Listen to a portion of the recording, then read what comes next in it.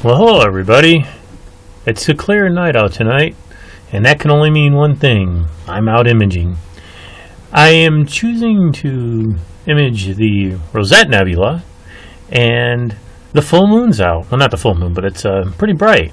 So you must think I have rocks in my head. No, actually, I am doing narrowband imaging. This is actually the only the second time I've ever done narrowband imaging. Now, I've done strictly HA before and mixed it with uh, RGB uh, with uh, um, yeah RGB data and stuff like that.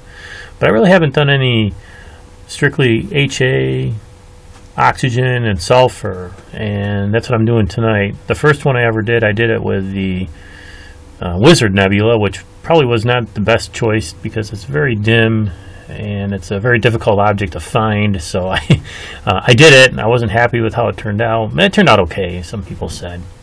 Anyways, tonight I'm doing, as I said, I'm doing the Rosette Nebula, which is a much brighter nebula. One of the things that I am doing differently than I did last time is I've upped the gain. Uh, I saw some other people doing narrowband imaging with a gain of 300, and that's what I'm going to try.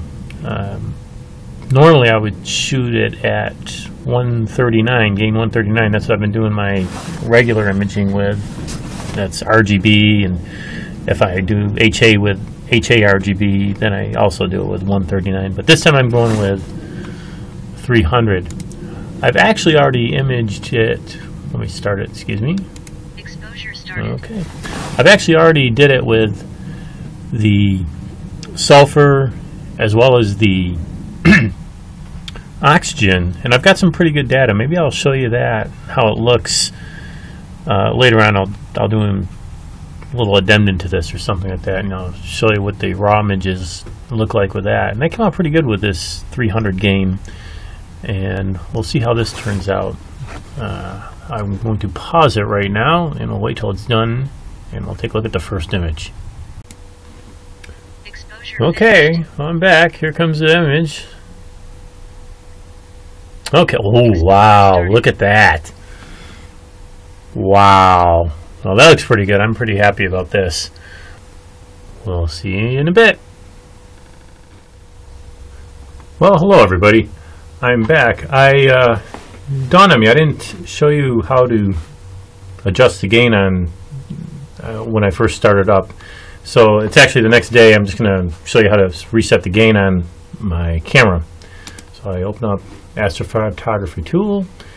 I well, the camera's already connected, and I would normally turn on the cooling aid, but I'm not going to turn it on because I'm just showing how to turn up the gain. You go down to settings, and that pops up. And here you go. Here's all the settings that pop up. I have to start this every time because my image type always starts off at RAW 8. My RAW 8 is JPEG, so I always got to turn this on anyway and adjust it to RAW 16. And here's where you adjust the gain. Nor, as I said, normally I have it adjusted at uh, 139, but for these narrowband imaging, I'm using a, gain of 300. And then I just press OK, and then I'm all set. Anyways, uh, that's all. I will do another addendum to show you how some of the other narrowband frames looked. The hydrogen, or I showed you the hydrogen. I'll I'll show you the sulfur and oxygen uh, in a bit. Okay, we'll see in a bit. Hi everybody, I'm back and I'm in my house. It's the next night and I am going to show you what the imaging, those images, those narrowband images look like.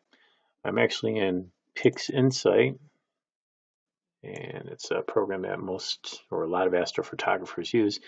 Here is what the sulfur looked like and you can see it uh, shows a nice outline and everything's very sharp.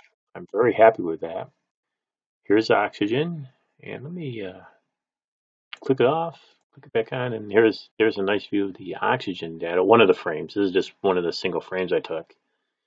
And again, very sharp, and you see the nice outline of the rosette. And let's look at the hydrogen, which you guys already saw. But here's another version of it.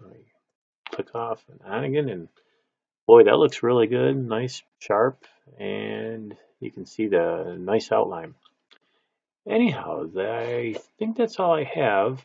Again, this is PixInsight. I usually use PixInsight to stack and do my preliminary processing, and then I transfer it to Photoshop, and I go back and do some PixInsight stuff and uh, do a whole bunch of stuff.